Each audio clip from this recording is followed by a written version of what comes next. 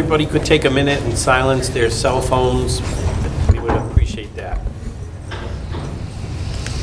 All right. Oh, here we go. This is Carter. Last year, we brought some GLT students and a teacher who came and shared a little bit about the iPads that they were piloting or trying out in our building. So this year, we've been fortunate enough that all of our classrooms, K through two, have the one-to-one initiative, so all of our students have an iPad. So this year, we're presenting from the teacher's perspective. So I do have two teachers here, a kindergarten teacher and first grade teacher, who are going to share a little bit from the teacher's perspective and a very instructional perspective for you, how they're, one way they're implementing the iPads and the impact it's having in their classrooms. So some of the things they're going to share with you is truly how having the iPads has not only multiplied them as a teacher, and it really is one of the best things I heard a teacher say was fact that now it's almost like having 10 of them in a classroom. Because as they're working with a group of children, they're able to push lessons out to students in a very individualized and differentiated way through the iPads using the correct apps or different applications that they have. They're also finding a variety of ways to differentiate, individualize. Um, They're able to push out different levels of activities for students, and it's all through the iPad, so they're saving an extreme amount of money in budget because they're not making all of these copies. Um, And one of the things they're doing this with is through a program called Class Kick. So that's one of the things they're going to share with you today. So you do all have an iPad in front of you. The teachers are going to present an example of how they use this with their students. I think you're going to see it at a differentiated level, so you won't all see the same thing, but their students don't all see the same thing. So the objective they're reaching in the end might be exactly the same, but how they get there is very different. So I'm really excited to bring two of my very technologically savvy teachers here today who share often with their grade levels and throughout the whole building. I can tell you that the program or application that they're going to show you on the iPads is being used right now in, with all of our classrooms, but probably in different levels depending on how familiar the teachers are, how good they're getting at it. Um, we currently have the free app, and we're hoping to oh. get the paid application because it does have more I guess what we would call bells and whistles for the future. But it's, this is going to be really the instructional approach you're going to see today, as opposed to last year. You saw the excitement with the kids and how they're actually using them in their classrooms. So I'd like to introduce Josh Walker, who is one of our kindergarten teachers this year, and Sarah Fiorella, who was kindergarten last year and is currently a first grade teacher, who oh. also is a first grade inclusion teacher, so she really knows how important differentiation is. But I can tell you, both these teachers do a dynamic job every day of the personalized learning initiatives, small group instruction, and differentiating for all of their students. So they're real excited to share this with you. All right, what I need you to do before we start Don't is trip there's a code on the board, and it will say, your iPad will say class code, that's your class code, and then it's a student name, we put you in as students. Yeah. With the space? So what did you just say? So you have to type in the class code, With the space in it? no space. No space. No space. Type in, oh, okay. And then we put your names in, you got a list to put your names in? Okay. Type in your name. Since your names are already in um, on the roster, the iPad will attempt to fill your name, so make sure it is filling in the correct name. Because if it does do that, you'll be able to just hit go um, rather than having to type out the rest of your name. Uh, So while you guys are logging in, just to kind of give you a little bit of a description of what's going to happen, um, I'm going to introduce the app Class Kick itself and just tell you a little bit more about it, the process um, involved with planning and implementing this app through the classroom. Um, So once everyone has the code, we'll take down the class code and we'll have a What? With the slides. Oh, so did I do it? I did it is able to backwards.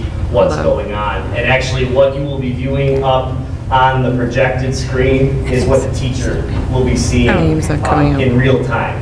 Um, Like Lauren said, this is just a free version of the app. Um, There's also a Pro and a Plus, and the huge benefit behind those is that it allows students to track their progress, and it keeps records of their own grades, so that they can actually see how they're progressing um, through, depending on what the content area we're covering is. They'll- So say if it's ELA, they'll be able to Sorry. keep track of their progress in ELA and how they're doing um, in the listening and learning strand or the skills strand, for example. Um, So once you're logged in, you'll just be on the first slide. Um, As soon as you are on the first slide, you can go ahead to the second slide, and as soon as we get everybody in, um, and we can get the second slide up on the screen, uh, we'll go ahead and move on with that. Does everyone at least have the class code entered? No, I'm totally holding up the works here. Go figure. Thank you. Oh, perfect.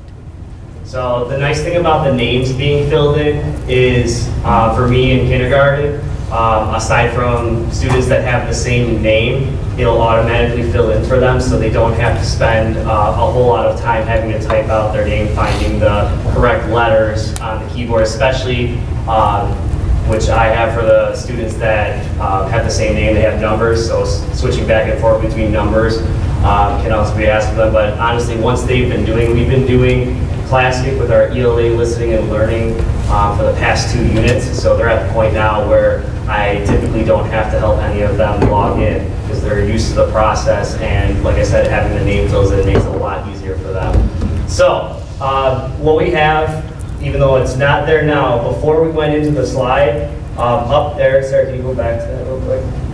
This is what the teacher will be looking at on their own iPad or computer. Basically, a white um, screen that is outlined by a black box. That tells me what slide everyone is on currently. So, everyone who's on slide one, Nice hit the arrow to slide over to slide two. Thank- Thanks for the directions, John. There we go. Well, now go to slide two. So now go to slide two. Now go to So- slide two. So, yep, slide down. here quickly. Slide two, All I right. told you what that. Yes, So- Slide two, I can check.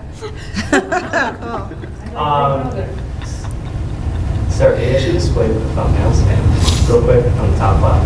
Nope. Right on the top left, display thumbnails, left. So now, internet permitting, you can actually see exactly what somebody is doing on that slide. And say they are writing for an answer, typing, whatever they are doing, depending on what the instructions tell them for that slide, you can live pro, or track that, what they're doing. So I can see Barb has written a little bit on slide two. Um, and if you look up under points, that is where you can score and grade extremely easily. Um, you can set each slide to a specific amount of points based on what um, content is on that slide. So, yeah, I, I now you can go to slide two. So basically, the process in setting up Class Kick, um, the teacher prepares the assignment through the app, or they can also do it through Google Slides or PowerPoint. Uh, Basically, it's a little easier to do it through Google Slides and PowerPoint because there's more you can do on those um, programs and then transfer it over to ClassKick um, because that allows you to set, um, if you wanted a square box with an empty space from the right, that's something that the app doesn't allow you to do directly. Um, But then you can just transfer it over easily as a PDF file, and it automatically lines up each slide to its own designated slide. It'll create new ones for our- how many the uh, PowerPoint has. So if it has nine slides, it'll automatically fill in those nine. Um, Once you have set it up, um, the nice thing about this is if other teachers are using ClassKick, you can share this lesson directly with any other teachers in the school. Um, all you need is their email. You can send an email. Basically, it says, um, I'm sending you this lesson to share with you and use in your classroom. They can accept it, and when they log into ClassKick, that uh, lesson gets put directly into their own file so that they can use that lesson with their classroom. Yes? So then that could be used for AIS as well? Yes, because they can also, uh, depending on how you moved it in, they can also edit parts of it as well. Um, So once the teacher prepares the lesson, this is, that's pretty much it on your end in terms of instructing them. Um, Basically, what happens is, I'm sorry, in planning the lesson. So now everything's set. All you are doing at this point is you are monitoring students and going to the ones that need help. Um, So students will log in just like you did, and as they are going, the teacher would be monitoring um, the class as a whole, like we showed you, looking for students that are maybe stuck on a question, um, they're not sure exactly what the directions are telling them to do on that specific slide, if they're not on task, and you can see that they're just drawing somewhere. Um, And the nice thing is, um, can I actually ask, see if one of you guys can find, there is a green hand up in the oh. top right, and it's basically saying to raise your hand. And you can either select raise your hand or please check. So if you'd like, if I'd like everyone to at least go up and press either raise your hand or please check. Is please check the little E?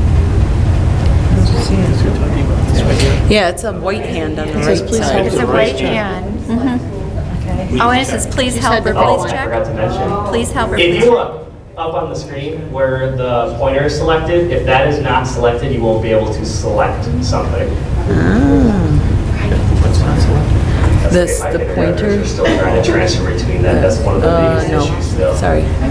That little air, no, oh, And as soon as you, can you back out to the teacher view? As soon as anybody raises their hand, the teacher looking at it is going to see, if it's yellow, that means please check. That is the student telling you, I'm finished, please check my work. Donald, what are you doing over there? If a student has a green hand raised, that is telling the teacher, I'm stuck, please come over and help me out. Um, One thing that is really nice, and that's another thing, the teacher can directly type onto that's so that person's cool. page, so nobody else should be seeing what Sarah's typing on Donald's page.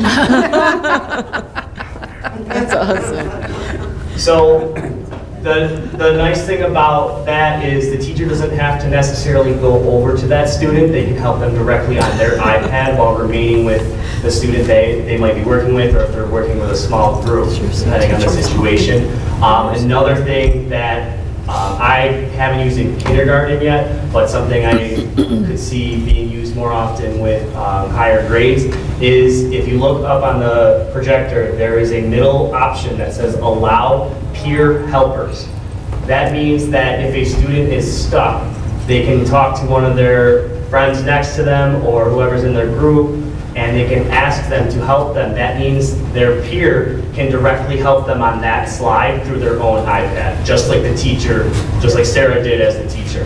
So that allows students to instruct each other at the same time. And that also, like we said, multiplying the teacher, having a student teach another student what they should be doing also reinforces it for the student that is teaching to them. Um, so we can go on, what we're gonna do now is we're gonna go to the third slide, everyone can go to the third slide. This is an example of something that I have done with my kindergartners in our skills strand.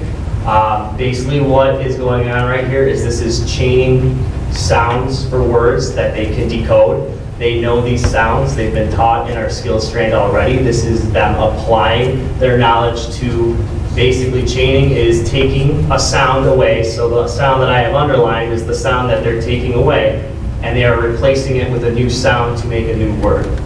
Uh, What you are looking at right now is not what everybody sees on their own iPad. Some of you will notice that you do not have the same picture that is up there on the screen. Because what ClassKick allows us to do is we can differentiate per student on what they see on each slide. So what you guys are seeing up on the main screen is what a, what every student is expected to be able to do. If I have students that are showing that they are still struggling with some of their sound recognition and being able to blend a word, they will have a different screen that it has more structure and support to them so that they can manage this- it better on their own independently. Um, So this is my expectation as a class. My higher students, if some of you guys have noticed, there's nothing there in terms of underneath. There is nothing to trace. They're expected to be able to produce the picture for each sound on their own without being able to trace um, like you see up on the main screen. So if you look in um, the top, those are the directions. Student, basically, students, what I did with my kindergartners, we went through just a trial um, lesson first, so they could get used to using ClassKick. Once they got used to that, they know that audio file at the top is their directions. They know that they need to listen to that first before they can get started on that slide. But that took me go, taking the time to actually just do a lesson and getting them used to what they should be doing and what should they expect when they're doing work like this. Um, some of the, if you have one of my lower students, you'll notice that there is a audio file to the left of the word. That audio file to the left of the word is a recording of me giving the sounds and blending the word so that they can at least hear the correct sounds for each one that's up there. And they know they have to trace the second two because they're not changing. So they're only focused on getting a new sound, coming up with a new sound that they know, and putting it at the beginning of the word. So, and like with, for my higher students, you'll notice there's a lot less support there. And that allows, that's because those, I expect to be able to do that without those supports that I have there. Um, so if you want, you can right now take a minute or two to listen to the files. Um, and if you want to even actually complete it, I can go back to the teacher screen and see what everybody's doing. So I'll Sarah, you want to back off real quick to the, looking at the whole class? It's gonna give you a grade, so do your best. Nice picture. So like I said, it's a live feed, as long as the internet's working well. I can see that immediately as soon as a student completes the work. And if you are finished, you can go to the hand. Um, You can tap, please check. Also, do right, make sure you switch to the pencil and not the selector or it won't let you. Oh, okay. And that also, you need to be on the selection tool to be able to play audio files. You really want us to record ourselves? No, you- yeah, you don't have to record. I- You, so, yeah, so basically, the question is, how do I know, just from this slide, if the student correctly provided the sounds and wrote the correct picture for each sound? That is where that they are able to record their own voice on the iPad. They hit stop, it saves the file, they know to move the file to the bottom. And we, I didn't have it up there, but you can basically move it so that they, typically I'll a box so that they can move the audio file to a specific spot so that I know that that audio file is them reading each sound and then blending it together. Um, One of our strategies for blending sounds together is using our arms. So for example, the word that's up there is aft. And then, so that's what they would do to give each individual sound, and then they would blend it together for the word hot. And so I would expect to be seeing when they're doing it, I would see them using their arm to sound out and record their own voice as they go. Um, and that is how I know if they are producing the correct sound for what's up there for each one. Because they'll typically do, I have them do about 10 to 15 of these in one lesson.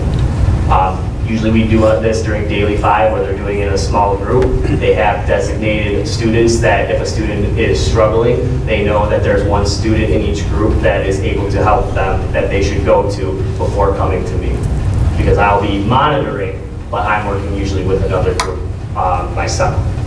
So, and that's where the grading can come in. So let's say um, Cheryl made a, a word, changed the sound, wrote it correctly, recorded it, has the correct sounds for each one, and blends the word properly as well.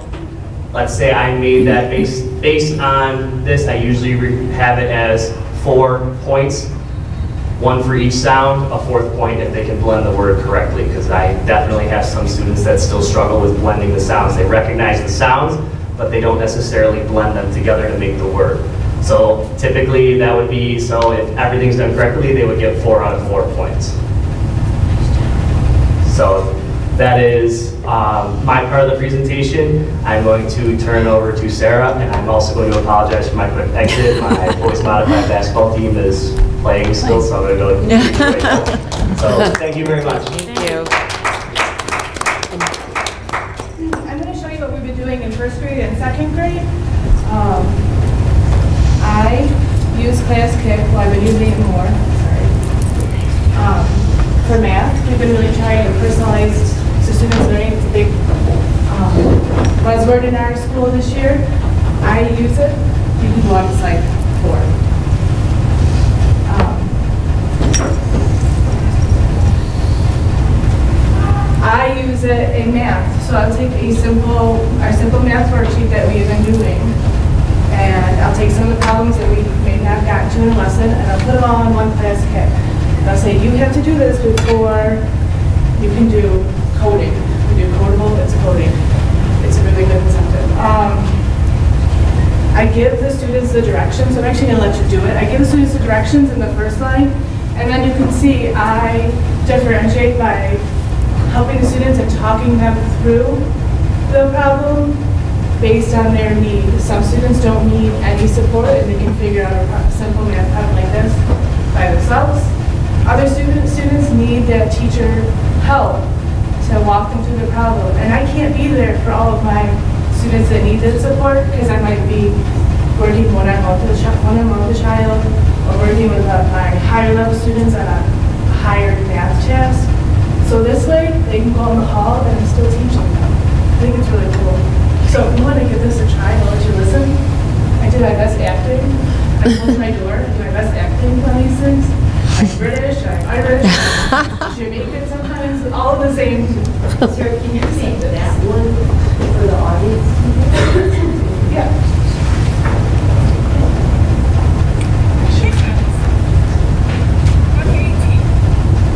Explain how the picture shows the caption.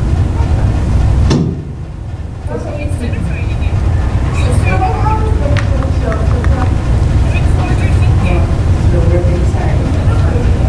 Waiting for recording. I, this is what I did at uh, technology and F. For example, I want you to think about how many cherries are there all on Okay, ready? I'm ready for you guys.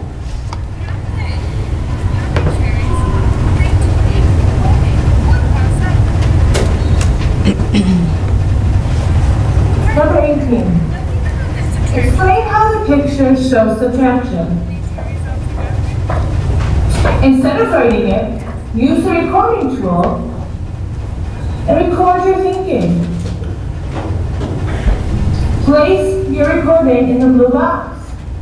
That's really cool. So you can see it live, and I can break it up instantly. I'm sitting with somebody else.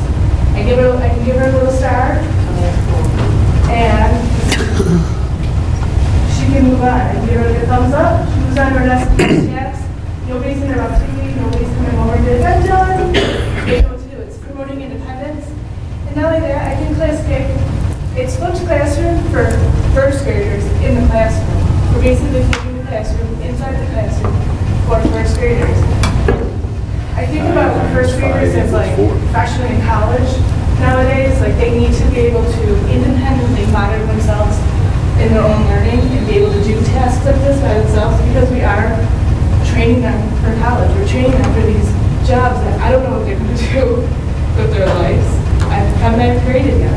And I have to train them to be able to self-learn, self-monitor, self, like, um, pick out what they need to practice on so that um, they can be more independent learners and they can learn something. I mean, raise your hand if you ever learned something, how to do something on YouTube. Oh, yeah. Well, this is like YouTube, but education. Um, in second grade, there was a need in the classroom to take their listening and learning strands, I don't want you, I don't want you to listen to this, but take their listening and learning strands, and the teacher reads it, Mrs. Westchurch, she young kids last year. Um, she reads it, and then the kids go in groups and we discuss what they just read. They have to self-monitor themselves, read, uh, listening to the reading. They have to be gathering points up by themselves, and then they get in a group and discuss. What's what you guys do with emails? How many times do you have to read emails and then come back and discuss? You're flipping the classroom inside the classroom. I see it's cool. It's really shows. I love it. It's awesome. Um, and I just want to tell some questions.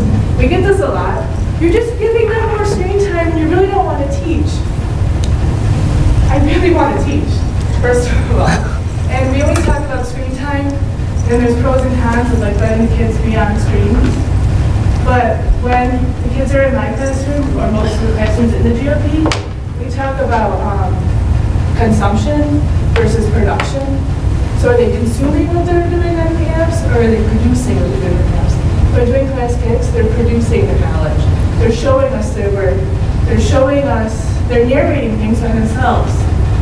Um, like. Instead of just watching a computer screen or playing a game. So we get that a lot. You're just letting them sit on the screen. You're not actually teaching them. No, I'm teaching them, but I don't have to be there. This also works really well with um, absenteeism. Kid missed a lesson, I can give the, the parent the link.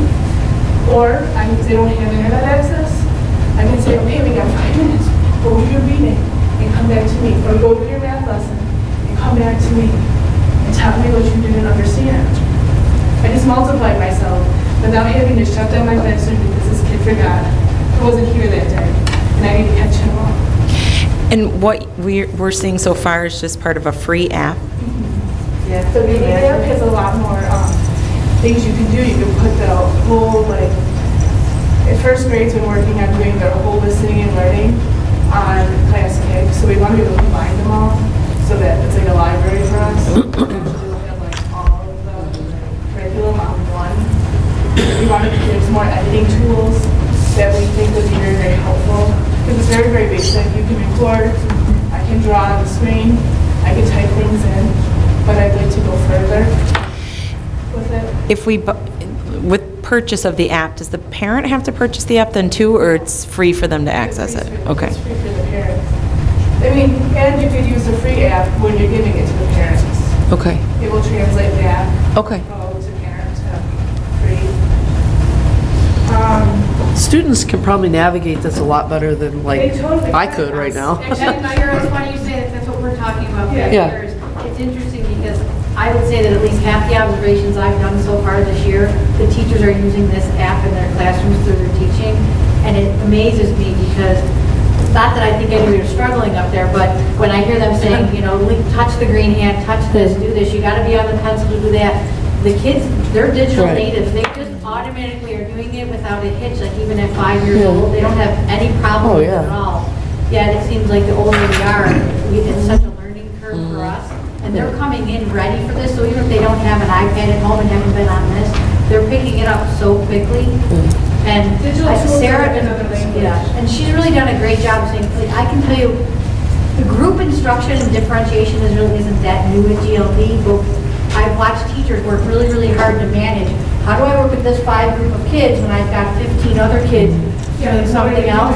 It's, it's truly amazing to me from a principal's perspective to watch the teacher have five kids that they're providing direct instruction, but they have this iPad sitting here in the corner, and all of a sudden, they're still working with their group of kids, providing very direct instruction for those children at that level. But then all of a sudden, they'll just do this, and all of a sudden, I'm watching, they're sending out an instructional tip to a child, or they're answering a child's question at the same time, when they're all over the room on their iPads, because it's that very live instruction. So they're truly working with five kids here, but the other 15 are getting their help also. It's, it's really incredible. This is like, I always say it's like Google Class, or like Google Docs. I use Google Docs in the middle school and then high school, sixth and seventh, and eighth grade. But it's for primary level. Like, my kids can't navigate Google Docs yet, but they know this. When they get to sixth, seventh, eighth grade, or third grade, when they go to this machine, to this machine, they'll know how to use Google Docs. They won't have to be trained for that first three weeks on how to use Google Docs. Because these operating systems are like a different language, but it's all the same language as technology. Like this, link is the same, no matter what grade you go, it's a link. Absolute shock. I need to go and watch Netflix. Well, I just think technology is We just going sign to get out? more. How'd you sign it? How'd you s- I went up to the little exit. I mean, when you start with this, you can kind of- There we go. Log out. That was awesome. Thank you. Yeah, thank you. Oh, yeah. Exactly. It's still uh, on. It was cool. Could use that in speech. Good stuff. Yeah, really.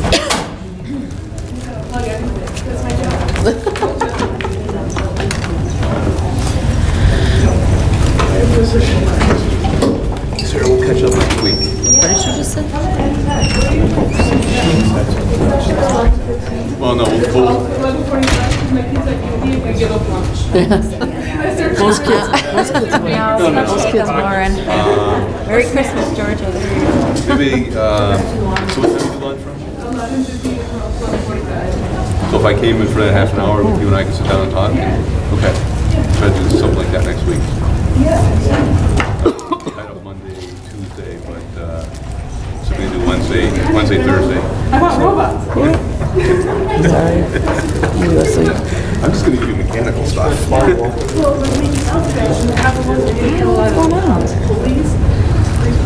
Nobody wants to take ownership.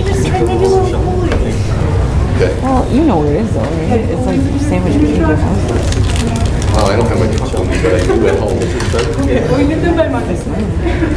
All right, we'll see what I can do. Yeah, I mean, I think the residents It's like want a it big one. there. Industrial Maybe because Santa Claus. Um. I, uh,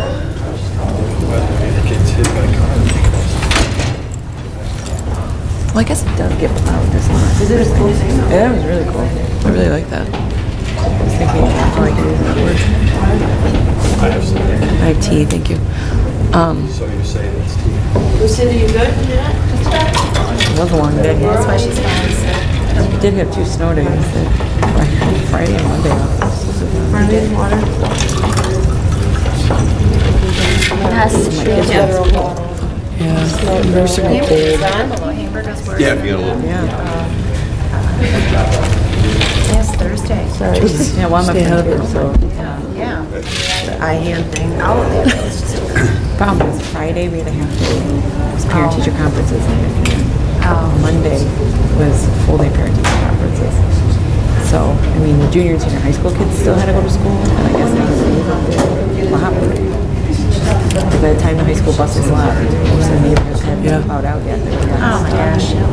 So they just canceled school. Which then they had the whole thing on the news about the outgoing supervisor, the highway supervisor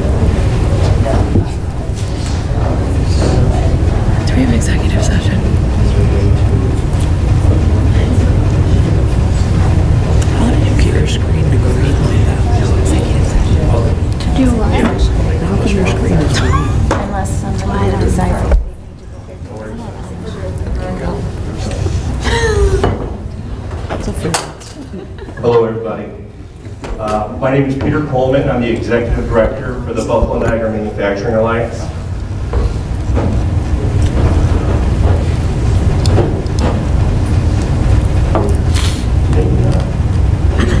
Trying to advance the slides. Arrow. Sorry.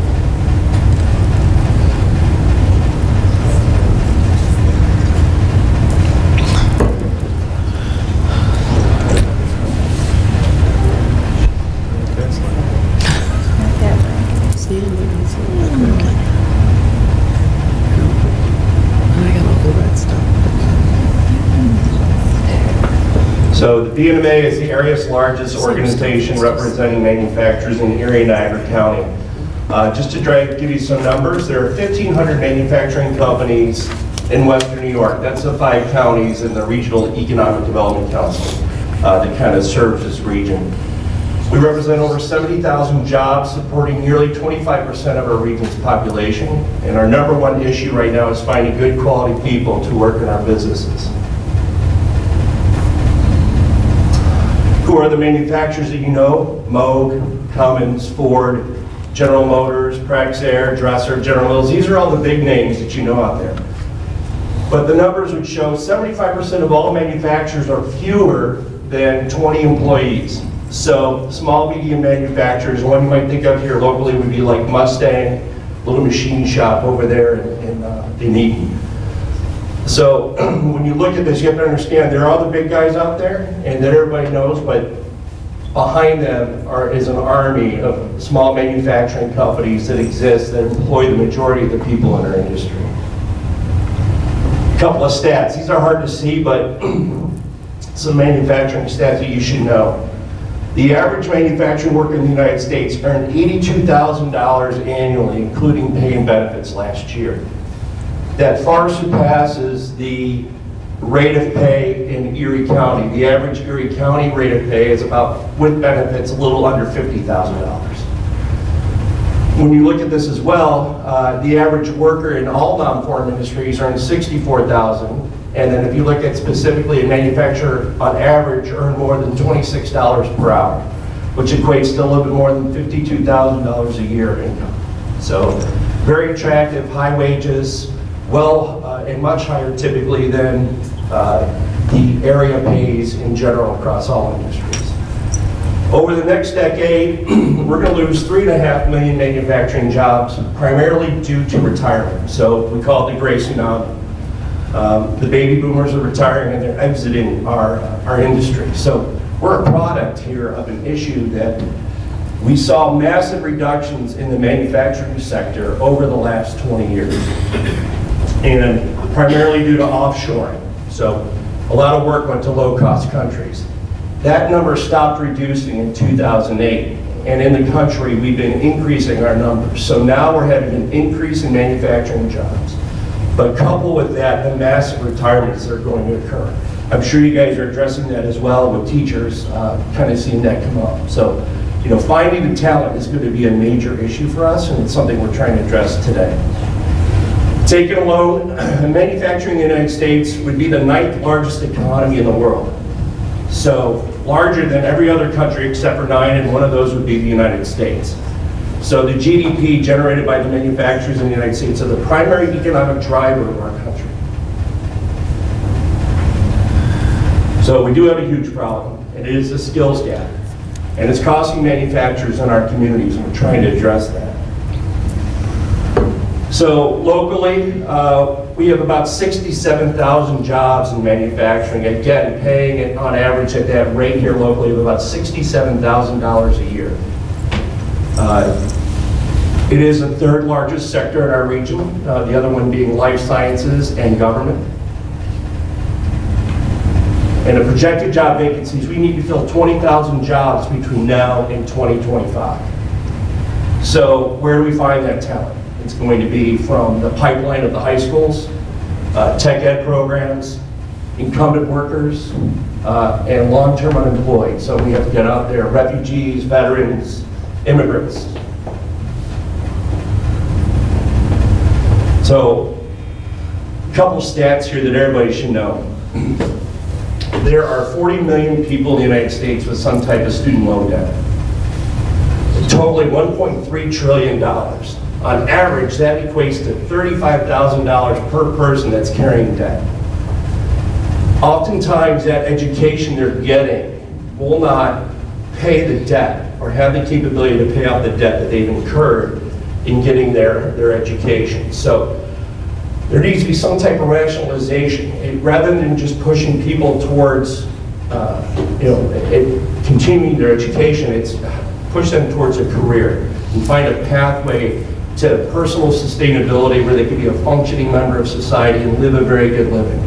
So We try to reiterate that and have the communication with you, kind of a vision of where we're going here locally. And I'm going to show a video of what a region is doing down in Kentucky that we're going to emulate, and then we'll come back to the Northland uh, Workforce Training Center.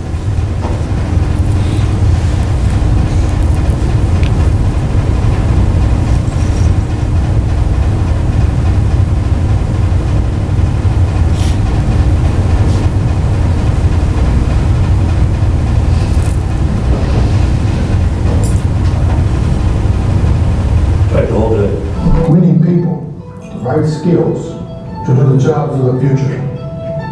And quite frankly, we need them yesterday. Kentucky Fame is a great partnership for We know how to get it today.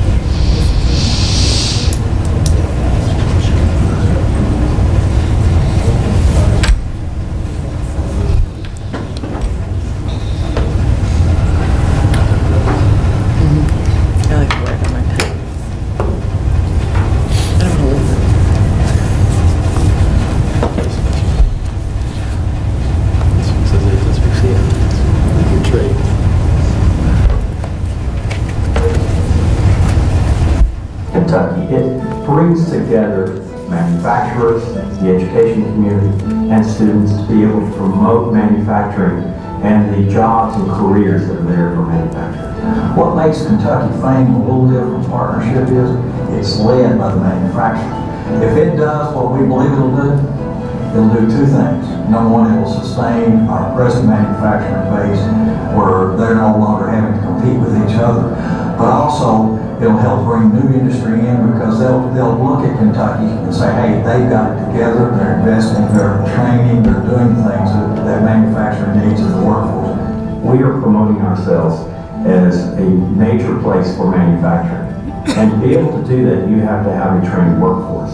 Kentucky Fame shows manufacturers that may want to relocate here or manufacturers who want to expand here that we can provide that trained workforce for them and have them working from day one. The benefit for students is that they can go to class two days a week and then go to work three days a week and they're getting paid to apply what they're learning.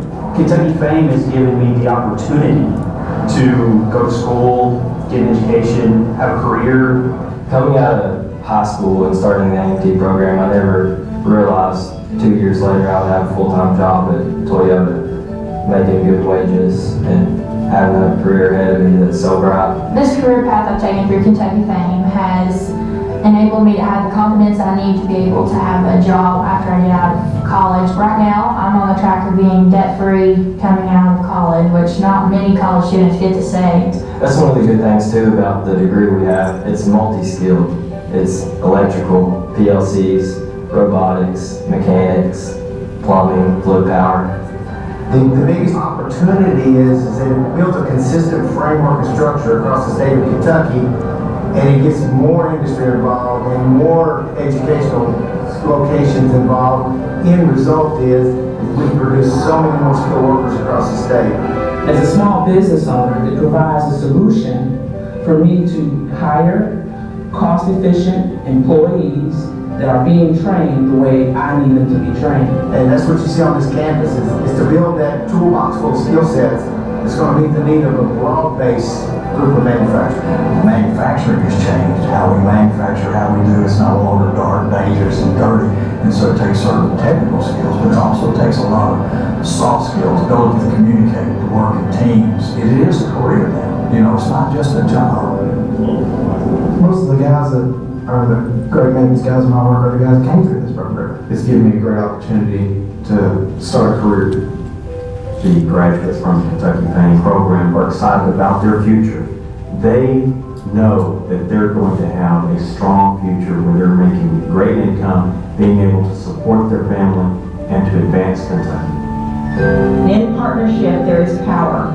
This is power. What is so great about Kentucky Fame and its future are the partnerships that are involved. With the leadership of Kentucky Association of Manufacturing, the state legislature, our manufacturers across the state, and KCTCS, this will be a success.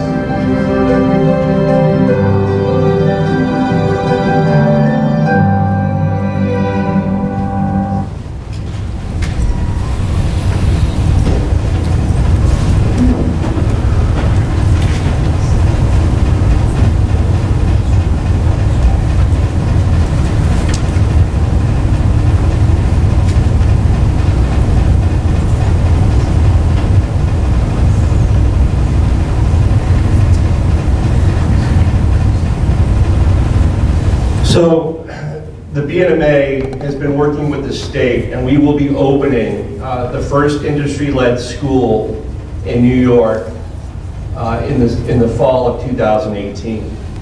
Uh, The school is led by industry, the board of directors. It's funded through a partnership of the Buffalo Billion, through Buffalo uh, funds through the city of Buffalo, from the New York State Power Authority, and uh, New York State. It's a $45 million investment and that will go into the building itself, uh, to a surrounding manufacturing campus, uh, that we will be then bringing in an innovation center and become a center of excellence for manufacturing here in Western New York. We have 150 companies on board right now to start uh, employing the students on day one. So the student will go to school for two days and then go to work for three and be earning a wage of approximately $15 an hour. So kind of unheard of, but if you can't function in that environment, if you're not prepared to put in 40 hours a week, you don't take this schoolwork home with you every day. There's not a three hours of, of homework. You're gonna do, everything is applied at the center. So you do all your work, you function, you do a 40 hour week, you're drug tested on day one. That's a huge issue for us. Uh, Students think you understand that marijuana is a drug, and if you smoke marijuana, you cannot get a job working in any of these companies. Uh, so drug testing is an issue. Uh, but this industry-led initiative, I think, will really bring some very unique uh, opportunities to our community.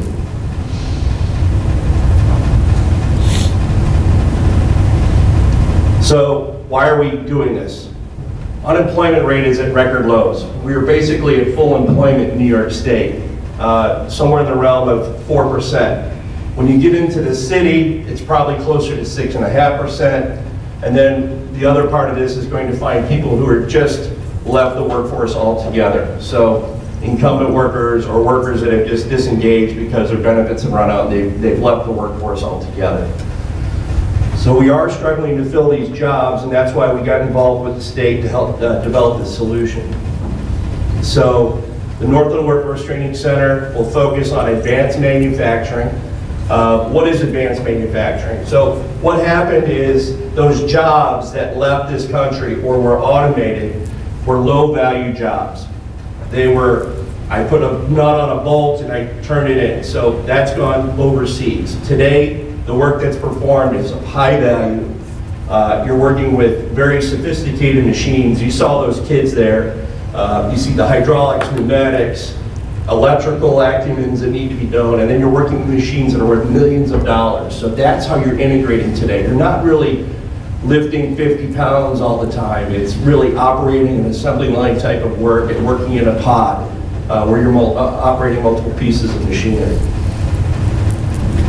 In addition, we're going to be also working with NYPA, the same issue we're having in manufacturing, they're having in the utility industry.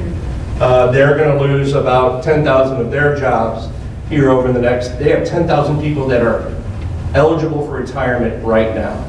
And they're sticking out, they're trying to pad up their 401ks and their retirements before they exit, but it's a massive fear factor for them. So the vision is for the Northland Workforce Training Center to be a premier model of public-private partnership, providing education, training, workforce development services that's industry-driven and employee-focused. And the mission is to advance economic well-being of the Western New York region by developing and maintaining a skilled and diverse workforce to meet the needs of the advanced manufacturing energy sectors. When you go into our shops, there's too many white males. Predominantly gray hair or bald because they, they're aging out. We don't have enough women engaged, we don't have enough minorities engaged. So that will be a, a major mission of this initiative. we need girls in STEM education, we need to promote it, we need to advance it. You Got the tech teachers, I don't know how many girls are in your classes today, what will be the percentage? 15 to 20. 15 to 20? That should be 50%. So this gender identity roles that we are, are, are running, the culture that exists is really going to affect uh, really our nation and our community. So we really need to promote these opportunities to everyone and we need to educate these, uh, these students on the opportunities that exist in our companies. The partnership that we talked about, so we have Empire State Development is a funder, BUDC, uh, which is the Buffalo Urban Development uh, Center, New York State Power Authority, and the SUNY Regional Foundation are training partners. We are bringing Alfred State up to run programs at our city campus. Why do we like the Alfred State model? They deliver something that's called an AOS degree. It's an Associates of Occupational Science your math and English are applied in these programs. So you're not going to learn Shakespeare. You're going to learn how to read a work instruction. You're going to learn how to read a blueprint. You're going to learn how to communicate well with others. You're going to learn how to critically think. Your mathematics will be embedded as well. How do you measure properly? Uh, how do you work a micrometer? How do you take a reading on a component? And they spend an hour a day in, the- in their classroom, and they'll spend four and a half to five hours a day on the lab floor. Then they'll deploy on their own student projects, and then the days they're not going to school, they'll be out in the workforce with a real company, earning real wages. Our partners that are going to operate the center are the Buffalo Niagara Manufacturing Alliance, the Buffalo Urban League, Catholic Charities, and Goodwill of Western New York. So we have three workforce development agencies, social service agencies that are going to work along with us. Why? There will be intensive career counseling throughout the process. Uh, we have to track every student for three years after graduation. Uh, they have to give us permission to track them. We'll track them through their W-2s, and we want them to engage with us as well when they graduate. So we can find out, are they working for a manufacturing company? And if I can track a W-2 or W-4, I know they're working for a company that has a NAICS code that starts with a three, they're working for a manufacturer. I'll know what their earnings are. And we'll be able to provide that data back. So this will be a data-driven initiative. But the intensive soft skills, I don't know if you heard that or if everybody's familiar with that. We find oftentimes that the professional or soft skills are non-existent today with a lot of the young people coming into the workforce. Um, you have to be ready to work shift work. The day in manufacturing starts typically between 6 and 7 o'clock in the morning, or you're going to work second shift where you're working from 7 to 10 o'clock at night, or you may work third shift. So when we go through our assessments, we're going to make sure that these individuals are prepared for that, and if they're not, it's just not the program for them. So we will be targeting, we'll be coming out, we'll be recruiting, we'll be performing outreach. We're going to open up, those 150 companies are going to open up their doors not only to the students, but to faculty, administrators, and to the counselors to identify the opportunities so they can communicate the opportunities that we can offer to the students. So aggressive recruiting and assessment. Uh, we're going to assess everybody. We need to make sure that they can read and write typically at a 10th grade level. Because you have to be at that level in order to function with the equipment that exists in our sector today. Four credit stackable training. So when I say stackable, there will be embedded credentials throughout the process. So if a student decides to leave, they're not leaving with nothing. They're not a dropout. They're going to have a credential. They'll have a document that they can take with them and say, here's my NCRC. I my National Career, National Career Readiness Certificate. Here is my OSHA 10-hour card that I'm, I'm authorized and have been uh, shown that I've been trained in proper safety practices. We'll build in uh, CPT credentials, and then that will advance as they go through their education. So the SUNY provider will provide those first two years of education. Afterwards, we'll have corporate training opportunities for incumbent workers at the companies that we're dealing with to do advanced training, and that'll be more specialized. This is the building we're renovating. I know it's difficult to see, but this is the old Niagara Clearing uh, Factory on Northland Avenue. Uh, We've gutted the facility completely, it's been abated. Uh, We're putting on the new roof structure, we got our first windows going in on the, on the building. We'll be airtight here hopefully within the next month. We'll start pouring the concrete floors in the manufacturing facility. And it's gonna be an open environment. So you can see here is the office. This is the more of the manufacturing campus that exists. So we have 200,000, 250,000 square feet in the building here at 683. We have another 40,000 of capacity on the right. Uh, And in the whole campus, we have close to a million square feet of capacity. We will start to do outreach to local manufacturers to come and join us on this medical, on the, on the manufacturing campus. So we want to emulate what's going on with the medical campus down in the city. If you know what that used to look like 15 years ago, it's been a major trans transformation for that community. Um, then you go over to what's happened on Canal Side and how the waterfronts come around. This will be the anchor tenant to revitalize the east side of Buffalo. And we're in the most impoverished area of our community. So we'll be changing lives. it's a food desert. People don't realize there's only one, two restaurants within a mile of this facility. You know what they are? The Kentucky Fried Chicken and a McDonald's. They don't have access to fresh produce. So this gets to that building process. If you don't have the right food to put in your body, how do you function? They have to go to a corner market, they're buying terrible food on a daily basis. So this place will have our own uh, restaurant and eating facilities will be open to the public. On weekends, we're gonna have farmers markets, really, you know, building as an impetus what we, we can do for the east side. Kind of the inside of what the facility is gonna look like, we'll have about 140,000 square feet of learning space, uh, broken up into labs. What we're gonna be teaching are welding, welding technologies, machine tool technologies, uh, electrical programs, industrial electricians, electromechanical. So that's the convergence of electricity and a mechanical device, robotics, assembly lines, that type of work. We'll also have uh, the industrial or the uh, utility, uh, utility electrician, more of a high voltage, the guys who go out and work the power lines. Average wage in the, in that sector is $72,000 a year. And you get there pretty quickly. Um, In all these sectors, you can go from your first two years of education, you should graduate with a two-year degree and be earning at least $40,000 a year with little or no debt. There should be no debt coming out of this program. Within additional three years of work, you should be north of fifty-five to $60,000 a year in earnings. That doesn't include benefits. Another feature of this is, in our sector, we have the lowest pay differential uh, and, and and pay gap by gender and race. The only one that's better than us is education. So you're protected by a contract, the teachers are, and they're paid accordingly. The same thing happens in, in our sector. You're paid for your knowledge and your output and your capabilities. And, you know, I think that's a very powerful message to show that, you know, we get it. And we're paying the highest wages here locally with no subsidy typically from the, from the state, local, or federal government. Some more renderings of what the facility is going to look like. And my contact information if anybody would like to touch base. Any questions? Could you just talk about the Dream It Do It?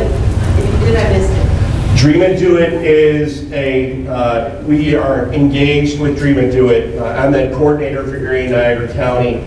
Uh, Oftentimes, uh, the tech team goes out to ECC, they do tech wars, they'll do engineering days.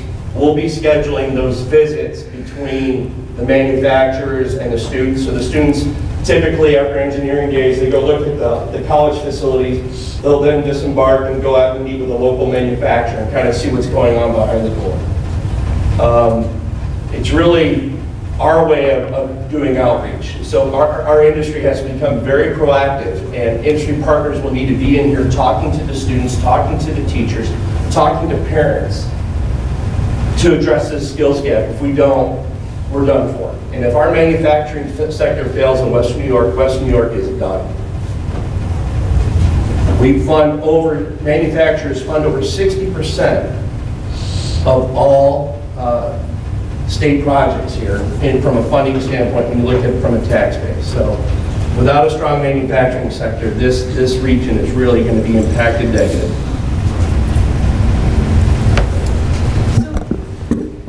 What do you see as the role of schools right now? Well, I think the role of schools is always to educate their students so they're prepared for a career um, and and prepared to succeed when they get out of here. I mean, it's not just book learning, it's the soft skills aspect. Are you going to be a good citizen? Are you going to function properly? And I'm a, I'm an Eden resident. Uh, my kids have grown up here. I love Eden. I mean, I, it's, it, it's a very comforting uh, area. Eden is not a is not an issue for us. The places we love to hire, think about it: North Collins, Eden, Akron, Alden, all farming communities. Oftentimes, where a number of the students have a mechanical aptitude because they worked on a farm, they've had to function in their life, uh, and they have great work that work ethic typically. So you know, do what you do, but all we want is to promote the opportunities that exist. Um, the Charter School for Applied Technologies in the city of Buffalo, before they say the Pledge of Allegiance, the first thing they do is every day is career day. That's a K through 12 program. So the first announcement they make every day is every day is career day. And if you have that mentality here, and as you're educating children and, and trying to promote them and, and identify, there's a reason why you're here. And these kids have to build what we call the building the brand of you. Who are you going to be? You're a commodity. You are a, an asset. And you need to show that and be proud of yourself and deliver yourself in a manner that is encouraging to others that want to pay you money for your brain, your heart, and your hands. So, you know, that's what I say we're looking for. Peter, thanks for coming. Um, I live this day in and day out. Um, I was at a Toyota facility Monday, and there is a gender gap.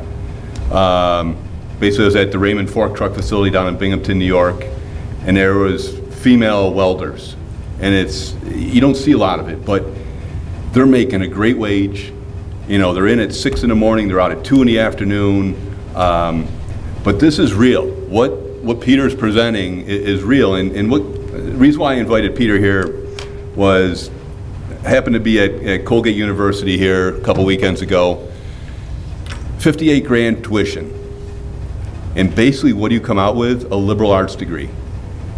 How are you going to pay off just 58 grand a year with a liberal arts degree? And it's, you know, there's, there's a real career here. It- This isn't a job, this is a career. And, and what Peter's saying in regards to what's happening in the workforce is so true. Um, and, and, and we're, we, like, we're in trouble if, if this gap doesn't get filled. So, you know, I think all our students need to be exposed to this career that's out there. And it, it's not like the old day of you were working in, in Bethlehem Steel, you know, maybe that we thought of our parents worked in and stuff like that. You're working in some real nice facilities now. I mean, complete air conditioning, um, pretty clean places. So i it's a career that, that, you know, people need to be exposed to. Know, Creators are wanting, I think statistically, you should know the numbers. Only one-third of the jobs in the United States require a four-year degree. So if you have more than one-third of your student population going for a four-year degree, you're overtraining them. I'm not saying an education isn't important, but there's a pathway to a career, then they become underemployed. Doesn't require college. So people need to, if you're not looking at the New York, or you're not looking at the U.S. Department of Labor statistics and developing a business plan as a, as a Board of Education, you're doing a disservice to your customers who are the students and the, and the taxpayers. So that should be really addressed, I mean, heavily addressed. Uh, Understand what those numbers are. Those numbers might be a little bit higher here from a town like Eden, um, but, you know, what is your pathway? And what are the opportunities that exist? How do you assess the students? How do you help direct them? And how do you educate the parents on the opportunities that exist for their students, their kids as well? Um, my nephew graduated from Eden. Um, Sheriff, could you use the mic? My nephew and nieces uh, graduated from here, and my nephew went to a private college in in Allegheny College in Pennsylvania, and he graduated a semester early. And um, he just recently said, I shared this with the board, he says, uh, I just cost my parents a ton of money, and I don't have a job. I, I don't know what I'm doing. Um, he decided to uh, totally switch directions. I mean, the business background will help him, but he has now started a company uh, flipping houses. He loves working with his hands, and he said, I wish I would have went to a trade school. He says, I can't believe I cost my parents this much money.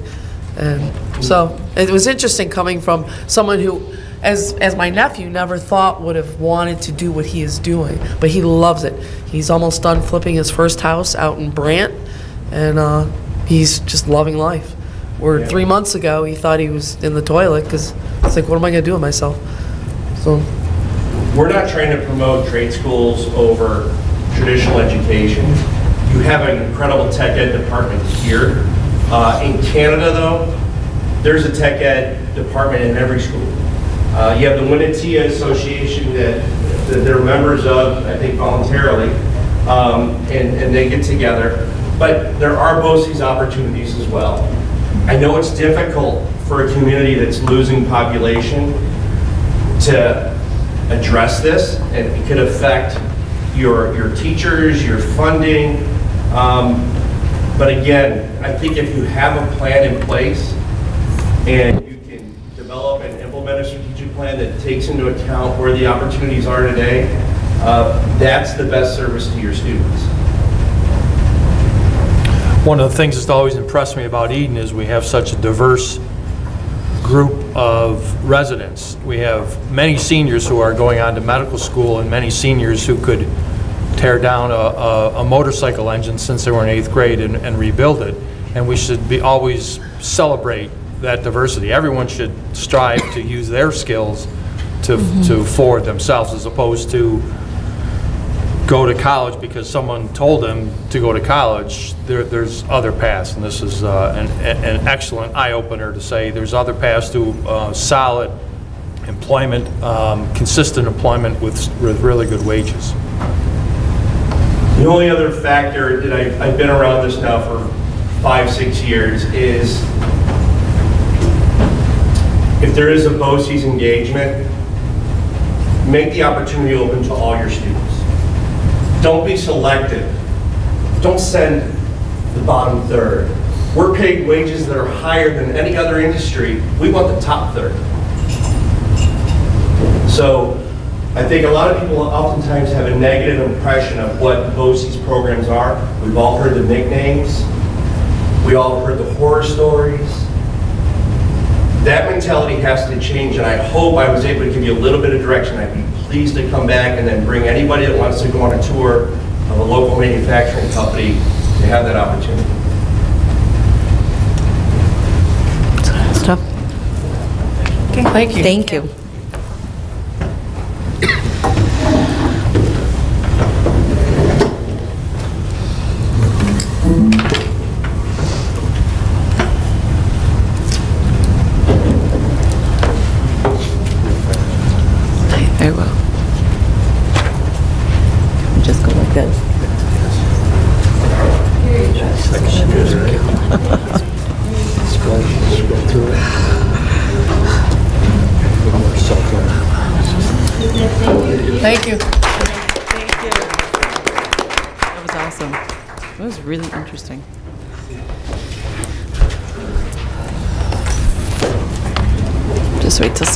Sandy sits down and then I'll.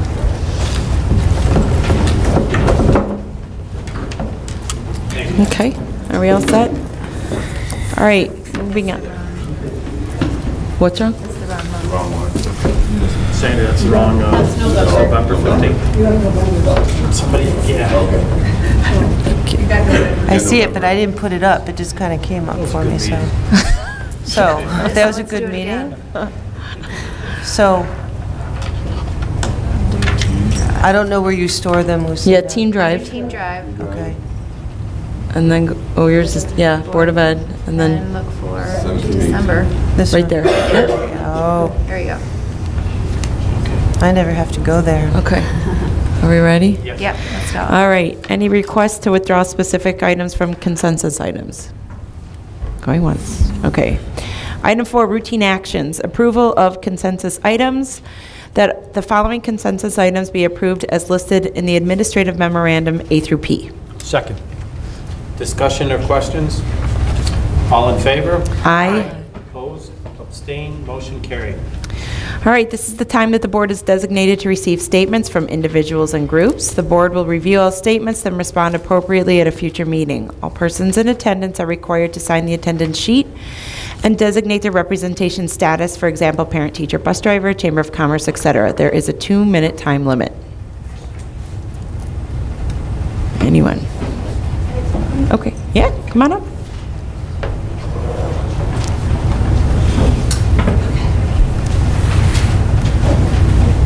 Okay. Could you just use the mic, though? That'd be awesome, thanks. Sorry. I know, I know, I'm sorry. It's just really hard to Don't hear be in here. And what is your name? My name is Nancy Albers, Thank you, Nancy. grade here. Um, ninth grade. Oh, wow.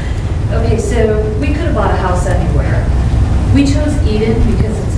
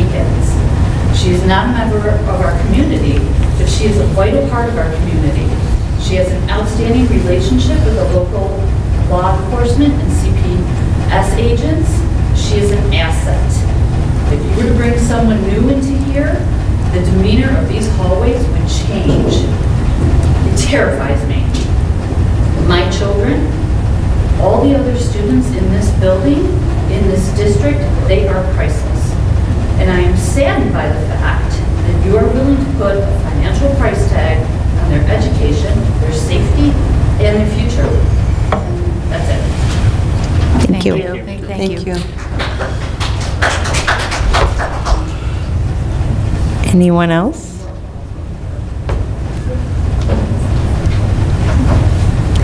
Okay. Moving on to new business.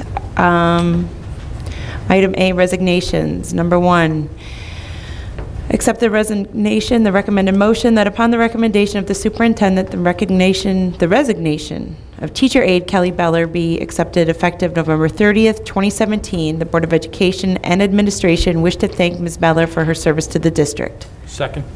Discussion? Jessica Kelly accepted a teaching position at East Aurora. We're excited for her. Terrific. Yeah, good for her. Congratulations. All in Congratulations. favor? Aye. Opposed? Abstained? Motion carried. Uh, Item two, accept resignation, that upon the recommendation of the superintendent, the resignation for the purpose of retirement of bus driver Ruth Pirogue be accepted uh, effective January 3rd, 2018. The Board of Education and Administration wish to thank Mrs. Pirogue for her 16 years of service to the district. Second. Discussion? She's done a good job. She's had some tough runs, too. Yep. Bus drivers always do a good job for us. They Yes, do. they do. This is very true. Wonderful job getting crazy. Uh, Seeing no discussion on that, all in favor? Aye. Opposed? Abstained? Motion carried. All All right, item B, appointments. All appointments will not be effective, and service to the district pursuant thereto shall not begin until there has been compliance with statutory and regulatory provisions for fingerprinting, certification, and clearance for employment. Here are the recommended motions. Item one, appoint Assistant District Treasurer, that upon the recommendation of the Superintendent, Natalia Andrews be appointed on probation as Assistant District Treasurer effective approximately January 2nd, 2018 through July 1st, 2018. Salary is $40,000, $40,400. Second. Discussion? Just that Natalia is here. We're absolutely thrilled that she wants to come to Eden. Um, Her son was with her a little earlier, but I'm pretty sure he went home, so.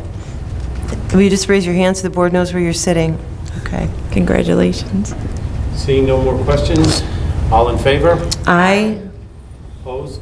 Abstained? Motion carried. Congratulations. You don't have to stay for the whole meeting, okay? Congratulations. We'll see you in a few weeks. Thank you.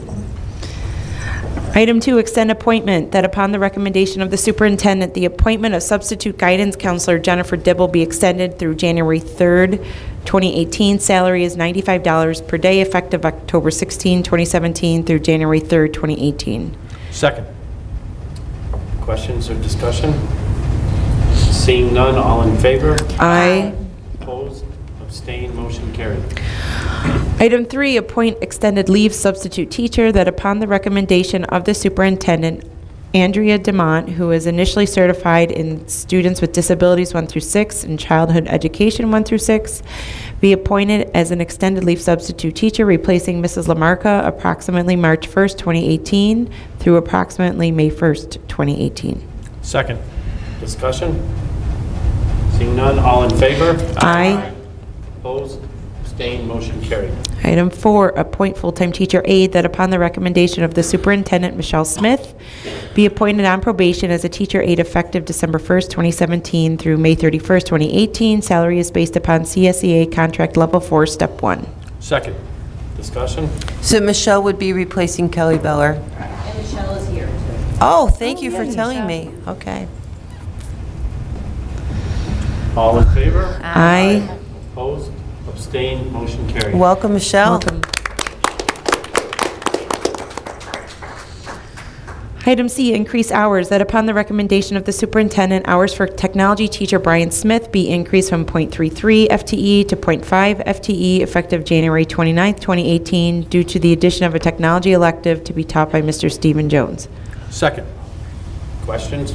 Well, It's a great night to do it after Peter Coleman coming. So what I, what I wanted to let you know is, is that this is money from Senator Gallivan's grant for Ag in the Classroom. And so Mr. Jones will be teaching agri- agricultural production systems, and Mr. Smith will be taking over Mr. Jones's DDP fourth period class effective second semester.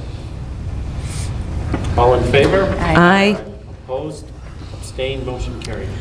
Item D, approve accessing of textbooks that upon the recommendation of the superintendent, out-of-date textbooks from Eden Elementary be declared excess and disposed of as the district deems appropriate. Second. Discussion? All in favor? Aye. Opposed? Abstained? Motion carried. Item E, approve change in school building configurations that upon the recommendation of the superintendent, effective July 1st, 2018, Eden Elementary School be reconfigured from grades 3 through 6 to grades 3 through 5, and Eden Junior Senior High School, grades 7 through 12, be reconfigured to a middle school, high school, grades 6 through 12. Second. Discussion? So this is what the board has been working on since your original resolution to move forward with the capital project and the middle school. Um, I'm really happy to say that the high school had a wonderfully um, attended and very successful parent information night, and they have another one coming up. Is it January? No, Jeff, Ste- is it January? Thank you, Lucinda. And so having this resolution adopted by the board will allow me to complete the paperwork for the State Education Department, which is due before Mi- March 1st, and then we wait for them to approve. Okay. Do we know how long it takes them to approve? I'm hoping they get it done before June, because we're ready to roll. They better be. But they don't let you do it too early, so it's really kind of, Okay. No. All in favor? Aye. Opposed? Abstained? Motion carried. Thank you, thank you. Item F, approve minimum wage increase, that upon the recommendation of the superintendent, the New York State minimum wage increase from 9.70 per hour to 10.40 per hour. The uncertified substitute rate will increase from $70 per day to $75 per day. Second. Discussion? Laura, you want to say anything All about in it? favor? Wait, Aye. Let Laura, Laura, Uh, just for a I moment. just wanted to let you know that that minimum wage increase doesn't come in January 1st, it comes on December 31st. Oh, okay. So Can we they- add that to the resolution, Barb? I don't think it will matter for our teaching staff as we're off our winter recess at that point. Right. But anyone at support staff level that would be working would be increased as well due to the law. So December 31st? Okay. Okay. Thank you. Any other discussion or questions? All in favor? Aye. Opposed? Abstained? Motion carried. Okay, item six, information and proposals, the business report.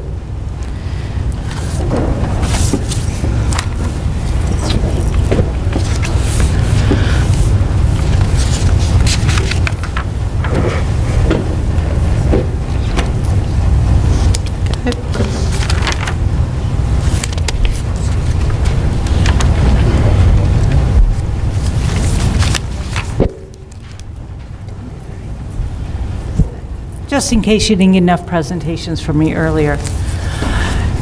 The- This evening in your board packet, you all received the proposed Eden Central Reserve Plan. That will be on the docket for the January board meeting for adoption. But again, I wanted to go through one more time for you and for the public, what a reserve plan is and where we're going with it. Actually, reserve plan as a blueprint to how to save any access you might have in your budgeting process, because if we budgeted strictly for the exact amount of dollars that the district were going to spend and left nothing in hopes of a small surplus, the district would never be able to absorb the many mandates that come from the state that we don't know about at budget time. Not to mention the fact that we are starting to budget now for something that won't start until July 1st of next year, so there's an opportunity for many changes to occur. So districts are working on, Eden is working on long-term financial planning. They're looking at the, we've looked at the current reserves. We're looking at what reserves we need to facilitate our long-range plans.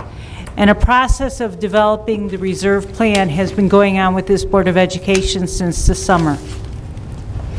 So the investment plan or strategy to take and minimize the economic impacts on our taxpayers and on our students as we go through the budgetary process. We talked in the budget workshop tonight about the concerns with the state budget and the funding from New York State for school districts. Long, without the use of reserves, districts would not be able to maintain the high quality of education they've been able to hang on to, and there would be much more cuts than we have seen in the past years. As our state aid is not being fully funded according to the um, foundation aid formulas, those were frozen in 0809. We did get some relief last year for them. We had a gap elimination adjustment for five years. These things would have negatively impacted the education even more than they have had not this district been prudent in their long-term financial planning. Now we're looking to create a actual reserve plan that will be adopted by this Board of Education, reviewed annually, and readopted each year. So, so if I could just break in for one moment. For those of you who have been at other community forums, what would come out clear in those is that as a district, we receive approximately $1.2 million less each year since 2008.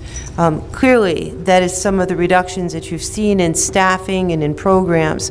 Also, what we can go back and we can look at research to show that when the state of New York did contribute 50% in terms of aid for our district, I won't speak for other districts, is that it dovetailed into a lower, in, a lower tax contribution by, by our residents, and also was just the perfect alignment for programs for Eden. And so uh, our goal is to try to get back where we were prior to 2008, but it's going to take the state of New York to get us there. Correct, and in the interim, we're trying to protect our district and our students against these economic roller coaster that we're seeing.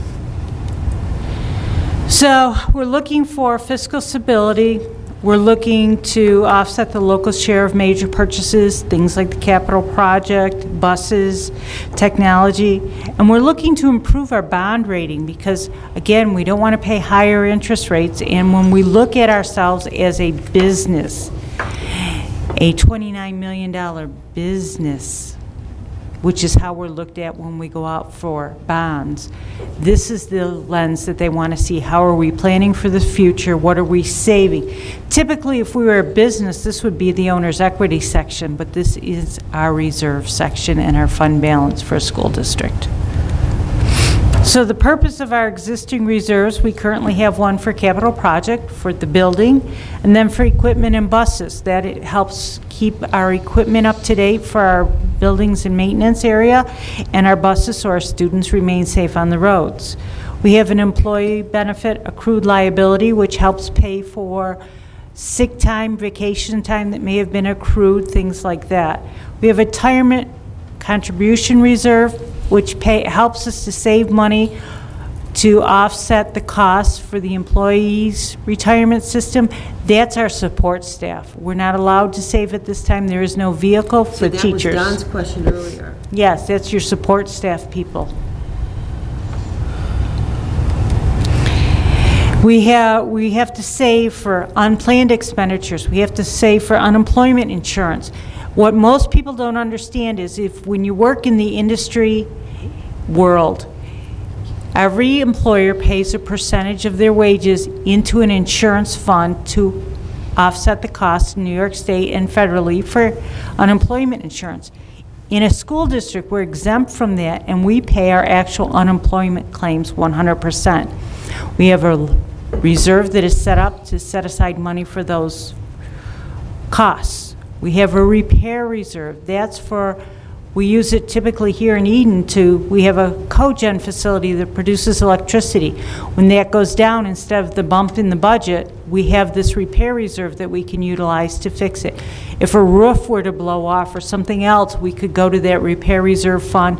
We could look at it two ways. We could look at it as, we're going to borrow the money and put it back within two years, or we could hold a public forum and the board could vote to permanently remove those funds so we don't have to worry about repaying them and then replenish them in a year when we've done a little better on our budget.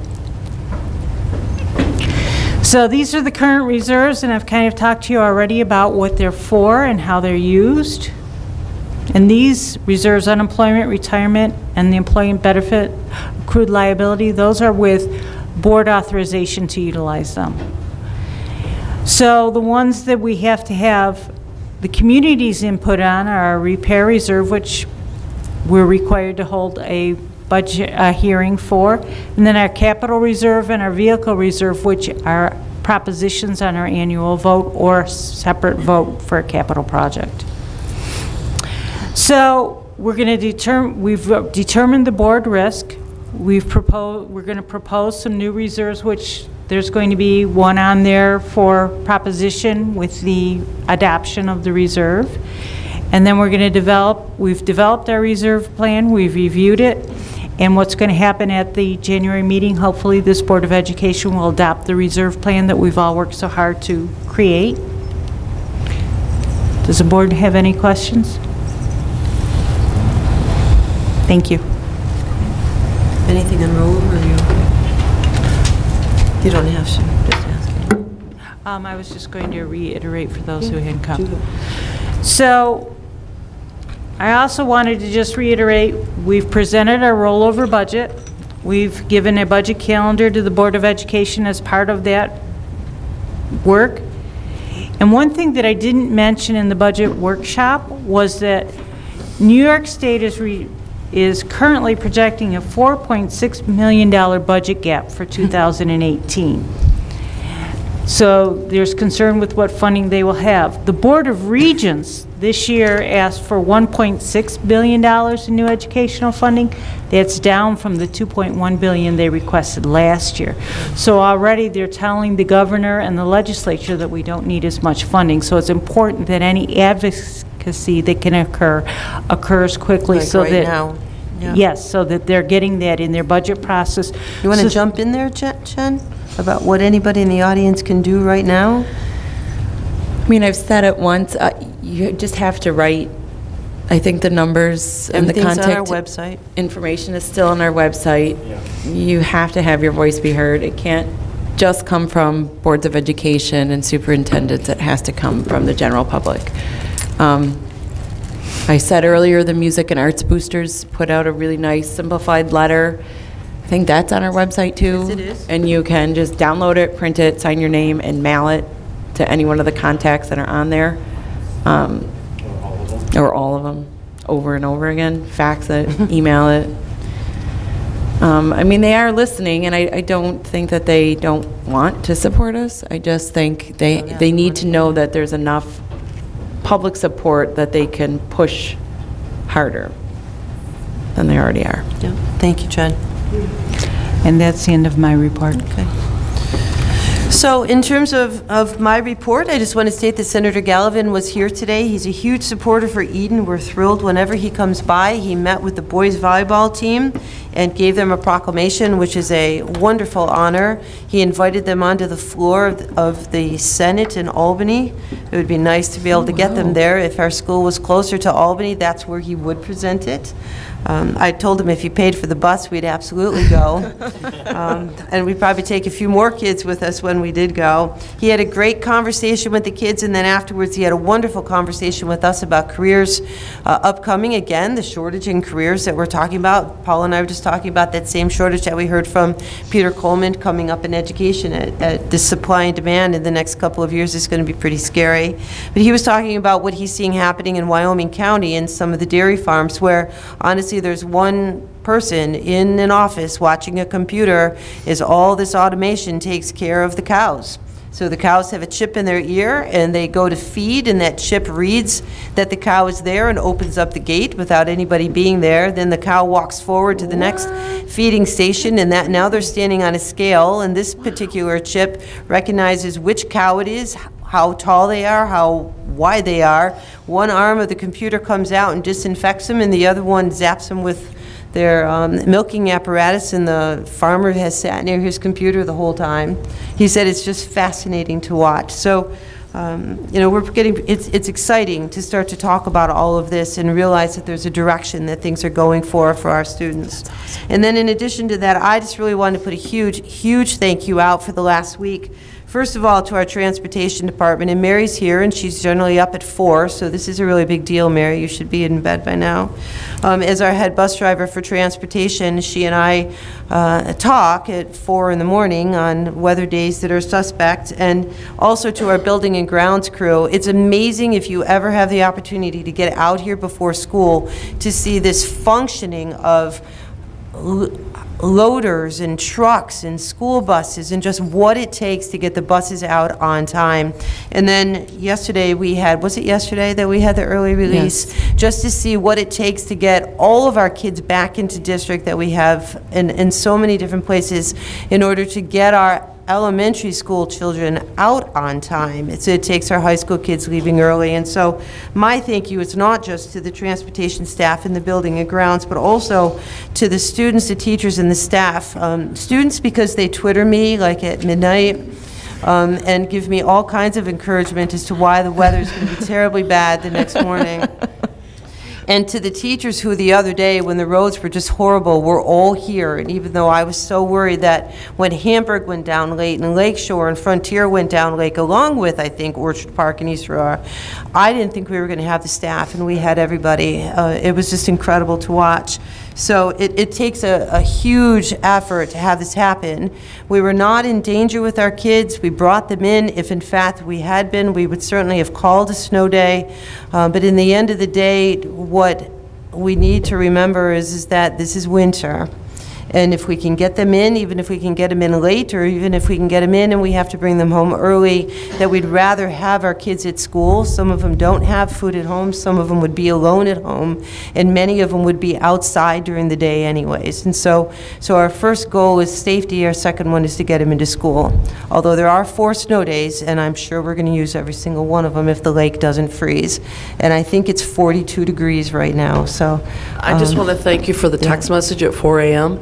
Were thinking about, thank you, because I got my call at 6 AM that my school was Yes, closed. I, I, I- I just don't understand. Thanks for the text at 4 a.m. So That Mary said, we have kids on bus, we have drivers out at 6 o'clock already. So for us to close at 6 is too late. Yeah. It's just simply too late. And so to base our closing on all those districts that are closing at 6 is impossible.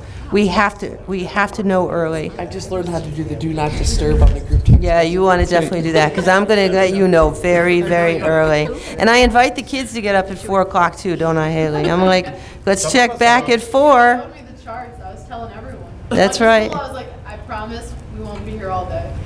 Yes. I t- If they follow me on Twitter, they'll know ahead of time. That's right. Some of us are up at four texting you too. That's right, yep. And Paul's like, tell me more, tell me more, so. I'm always texting her at that time. Yeah, it works. So I, I love the kids. They, they crack me up. So, yeah, Adam Rakicki deserves a half a cake, not a whole cake, just a half a cake.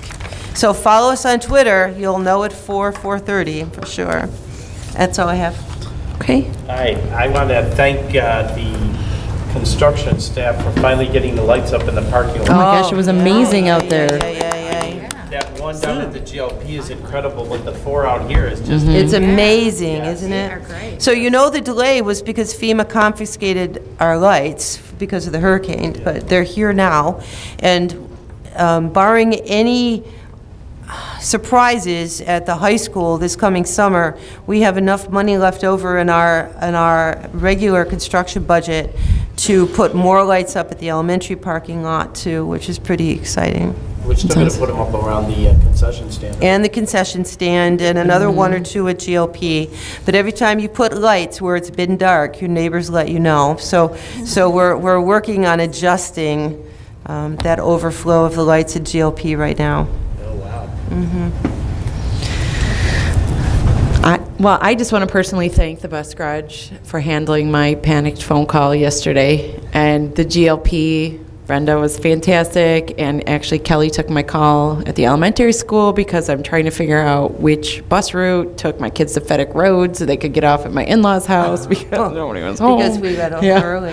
Right. So everybody was great, and I just wanted to say thank you. And um, yeah, thank you to the bus drivers. Everybody made it home, and They it was have a good. job. They do. Yeah, they Oh, do. They do. And and sometimes the kids on the bus don't make it any easier, Mm. you know, for distracting them. And I tell the kids all the time in my classes, I say, Let them you let them concentrate on the road. They don't need to be right. concentrating on you. Mm-hmm. That's right. Haley? Anybody else? Don? Chad, No. anybody? Thanks. No? Nothing? Nothing's good? Thank you for bringing Peter in. We'll get him back to talk to kids and staff, okay? Yeah, that was really Anybody else? interesting. Don? Cheryl? No? All right. Okay. No school December 22nd. Elementary school completely closed to students and staff over the break in December. I'm Um, going to text you at 4 and say I have to go to school then. That's fine, I'm not, Are no they doing the problem. switch? They're gonna do the cutover from cogen to the grid, but we'll still be running off the generator until February, and then in February, we'll actually do the cutover for GLP, the bus garage, and the elementary school. So we'll be still on cogen? Until after- February. Until February. But if cogen goes down, the elementary school will have power. Okay. Will the GLP have power also? No, and after bus garage? February, they won't have it even if cogen and the grid go down. So after February, because GLP doesn't have its own generator, if GLP, if, if the electricity in town is gone, GLP will be running off only a backup generator. Right. Um, But the other two buildings will actually have electricity and heat. Right. So we would end up closing the whole district because GLP doesn't have it. Right. Okay? Okay. That's right, Lauren. All right, future dates, regular Board of Education meeting Wednesday, January 17th, 2018, 7 p.m. in the junior senior high school cafeteria. And now, making motion to adjourn. Second. Discussion? All in favor? Aye. Opposed, abstained, motion Thank you, carried. everybody. Thank you. Another one in the record. Okay.